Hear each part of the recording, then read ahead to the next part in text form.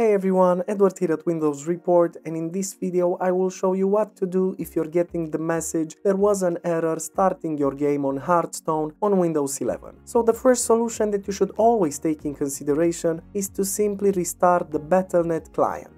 Now in order to do this, if you already have the client opened up, make sure to click on the show hidden icons arrow and then right click on the Battle.net client and select the exit option. Now the last thing that you have to do is simply double click on the Battle.net icon on your desktop, then wait until the client will initialize and afterwards just click on the blue play button under Hearthstone. And then you can check if the problem still persists. Moving on, another useful solution is to add Hearthstone as an exception in the firewall settings. Now to do this, press the Windows button, then simply type firewall and then select Windows Defender Firewall from the search results. In here, just click on allow an app or feature to Windows Defender Firewall and afterwards the first thing you have to do in here is simply click on the change settings button. This will allow you to modify the settings in this list. Next, just scroll down until you find the Hearthstone game, click on it and make sure to tick the box next to both private and public sections.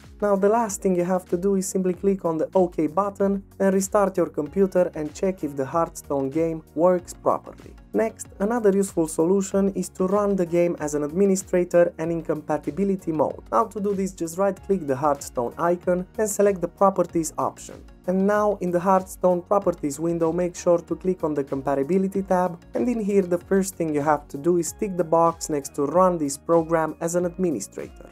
And now the last thing you have to do in this window is to tick the box next to run this program in compatibility mode for Windows 8 or Windows 7, it doesn't matter, this should work properly after you save the changes. Now just click on apply and OK and you'll see that from now on if you're trying Hearthstone, it will run as an administrator and then you can check if the problem still persists. Moving on, another great solution is to scan and repair Hearthstone via the Battle.net client.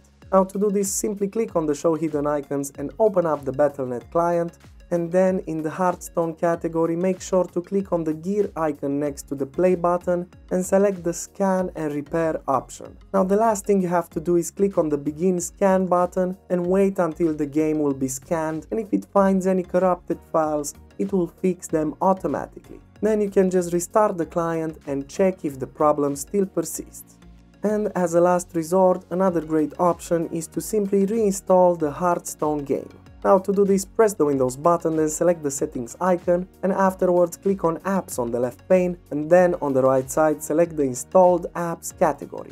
Now in here just scroll down until you find the Hearthstone game, click on the ellipsis next to it and select the uninstall option. Afterwards restart your computer, open up your Battle.net client and you'll have an option to reinstall the Hearthstone game. And you can check if the problem still persists. And that's it. Super simple, isn't it? Of course, if you enjoyed this video and it helped you, make sure to hit the like button and subscribe to our channel. Thank you.